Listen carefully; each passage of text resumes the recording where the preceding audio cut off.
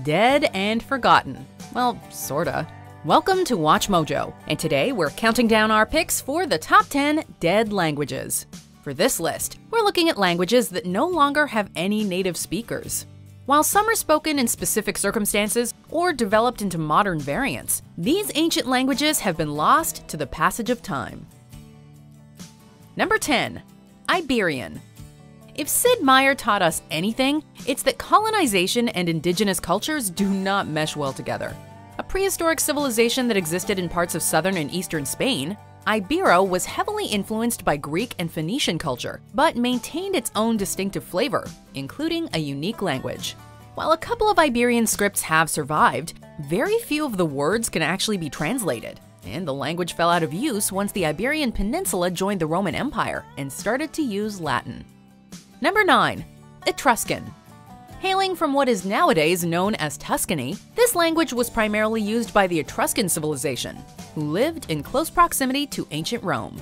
Founded around 700 BC, thousands of inscriptions have been discovered in parts of Italy, the Mediterranean, and Egypt. While the alphabet was likely derived from Greek, scholars remain unsure about Etruscan's influence or origin, primarily due to the language being rather indecipherable. Interestingly, very little is known about the civilization itself, with both the Romans and Etruscans opting against preserving their history or literature. Number 8. Hunnic.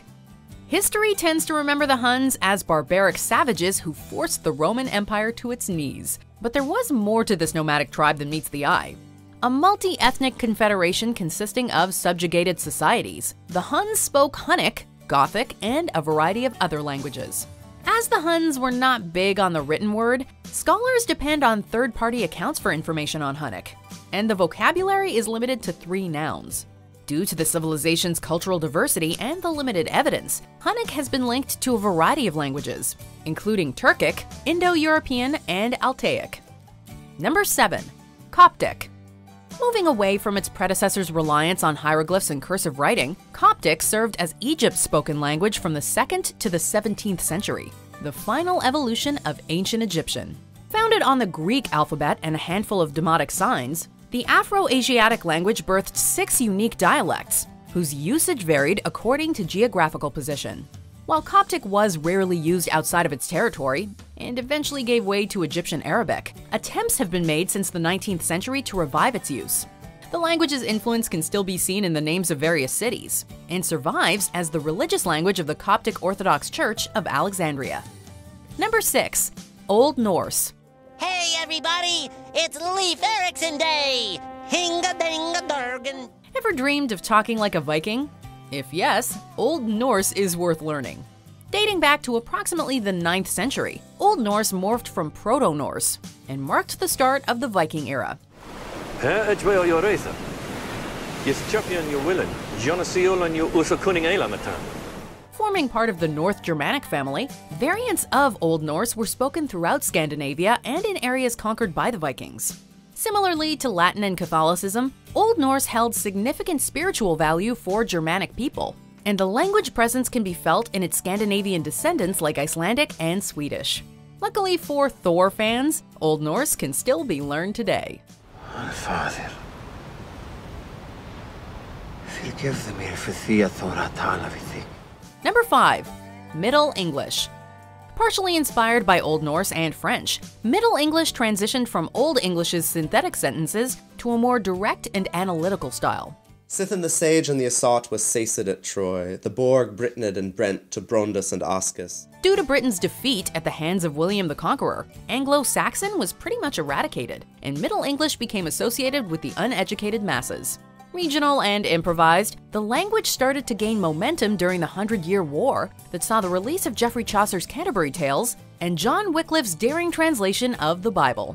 Middle English established a grammatical focus on word order over inflectional endings and a shift towards a more heterogeneous vocabulary. For why avoided thou Ronoka? Okronok's land was cursed. They were a dera of pestilence. Number 4. Aramaic. Even if Hebrew stole a bit of the spotlight, scholars believe that Jesus actually spoke Aramaic.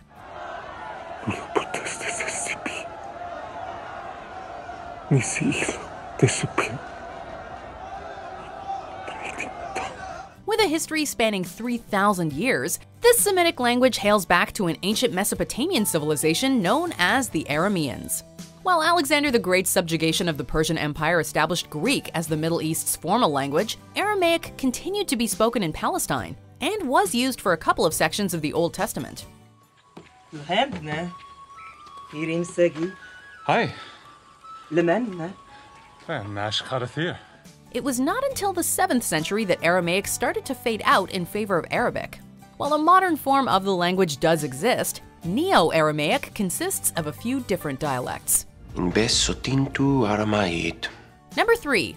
Ancient Egyptian. With the written word harboring back to around 3400 BC, only Sumerian predates the dialect of the pharaohs. Yarata. Ich aya. Separated into four different periods, ancient Egyptian found its footing with the establishment of the Old Kingdom and can be found scribbled onto the side of pyramids and sarcophagi. Employed for religious, medical, and literary texts, ancient Egyptian was a highly developed language that lasted for nearly four millennia.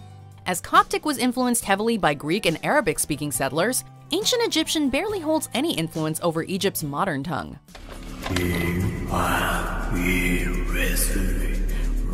Number 2. Ancient Greek. While Mesopotamia and early ancient Egypt mostly used writing to maintain records, ancient Greece embraced the written word's potential for individual expression. The language of Homer, Plato, and Sophocles, ancient Greek can be traced back to the 9th century BC and continues to be taught. Although the Phoenicians served as a source of inspiration, Greece contributed the first full alphabet, and several letters, including A and B, have stood the test of time. Polyes halos iot amakli While English has only been indirectly affected by the language, Greek mythology has greatly influenced modern literature, and many scientific terms are derived from ancient Greek. Not quite at the end yet. Almost there though. Just be sure to subscribe to our channel and ring the bell to be notified about our latest videos. Alright, back to business. Number 1. Latin. Agic Agis. Creda Judaea Sotella. Until the 1960s, Latin acted as the Catholic Church's primary tongue for religious services, but the language no longer has any native speakers. Due to the Roman Empire's expansion and the later establishment of Christianity in Britain, Latin was the Western world's most influential language for over a thousand years and continues to be practiced in certain academic or religious settings.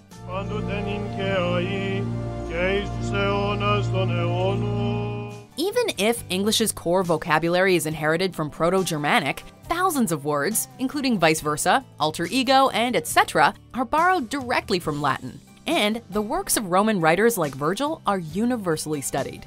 Do you agree with our picks? Check out this other recent clip from WatchMojo, and be sure to subscribe and ring the bell to be notified about our latest videos.